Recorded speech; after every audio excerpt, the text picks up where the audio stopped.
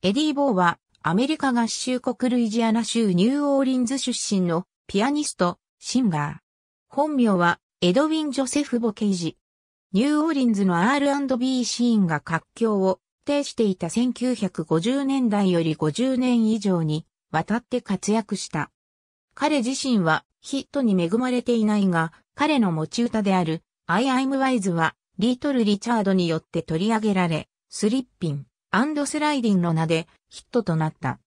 1960年代の後半以降はファンキーなサウンドを展開し、ニューオーリンズファンクの一端を担った。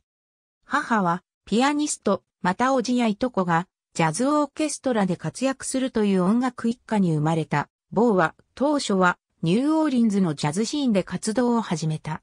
しかしながら、やがてより稼げる選択肢として R&B をプレイするようになった。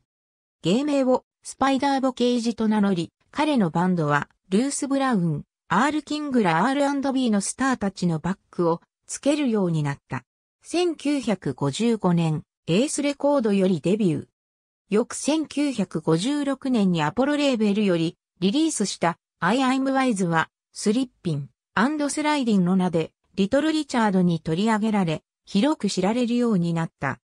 このほか地元リックレーベルからエブリードッグハズイッツデー、チェックミスターポパイなど多くの曲をリリースしているほか、チェス、チェッカーにもレコーディングを残している。1960年代に入ると、地元の零細レーベルから単発的にシングルをリリースし続け、またアーマ・トーマス、ジョニー・アダムスら他のアーティストのプロデューサーとしても活躍した。1960年代後半にはニューオーリンズファンクの原型とも言えるファンキーなサウンドを展開。1969年のスクラムレーベルからのシングル、フックスリングは、ボーのそのような側面を示した改作で、彼の曲としては最もよく知られているものの一つである。1970年代に入ると、自身のレーベル、ボサウンドを立ち上げて、そこから作品をリリースするようになった。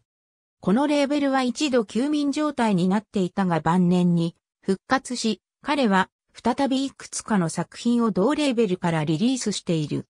2003年には自身のクラブ、チェックユアバケットをニューオーリンズ市内に開店するものの2005年のハリケーンカトリーナで被害を受け閉店してしまった。2009年3月19日、ボーは心臓発作により死去した。ありがとうございます。